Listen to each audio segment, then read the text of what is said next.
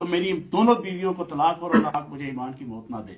ये मैं आपको हालत दे रहा हूँ और ये मैं वीडियो के ज़रिए से दे रहा हूँ। मेरी इज़्ज़त और वकार को तार तार किया।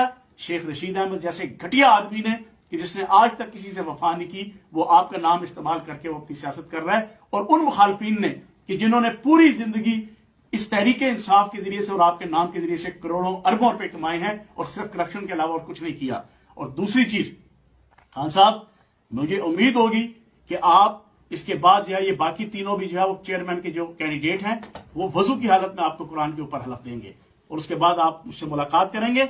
मैं आपको बताऊँगा कि इन पिछले साढ़े चार महीनों में और पिछले ढाई सालों में आपके एन एच छप्पन के अंदर किस किस तरीके से जो है वो आपकी सियासत और इस तरीके इंसाफ की जो है वो धजियाँ बिखेरी गई हैं। शुक्रिया। और आप और मैं हम प्रेस कॉन्फ्रेंस करेंगे। अच्छा। ये अपना माफल जमीर बयान करें। हम अपना माफल जमीर ठीक है ना? यार मिनिस्टर हूँ कैरी पोर्टफोलियो हूँ और देखो उजमा, उजमा कह रही है मिनिस्टर को कह रही है पोर्टफोलियो लेकर आओ। अब इसमें मैं क्या कहूँ? इसमें मैं क्या कहूँ? अच्छा अभी भी अभी भी चैलेंज कायम है। अभी भी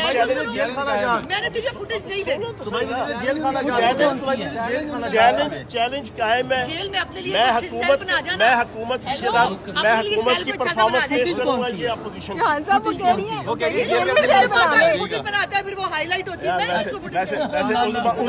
मैं हमें जेल भेजे यार हम जेल जाने को भी तैयार ललकार सुनो बुखार सुनो ये मियाँ नवाज़ ये शाबाज कुलसूम नवाज़ मरियम नवाज़ वहदत की आवाज़ गैरत की आवाज़ अजमत की आवाज़ मिल्लत की आवाज़ रहबर हमारे जिगर हम जोश ने आके हमारे कैमरामैन को थप्पड़ मारा।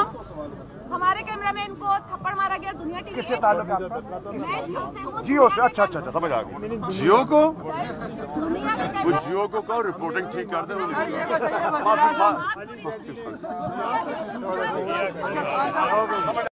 एस एस ए इंसानियत चैनल की वीडियोस देखने के लिए हमारा चैनल सब्सक्राइब करें और बेल के आइकन पर क्लिक कीजिए ताकि आप हमारी आने वाली तमाम नोटिफिकेशन से बाखबर रह सकें।